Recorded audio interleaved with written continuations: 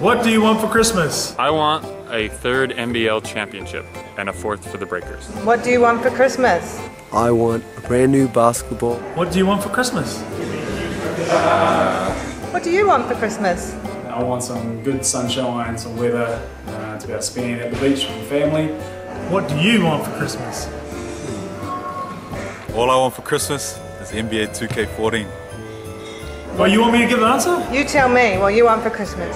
Uh, what I want for Christmas is my first NBL championship. What do you want for Christmas? What's Santa bringing?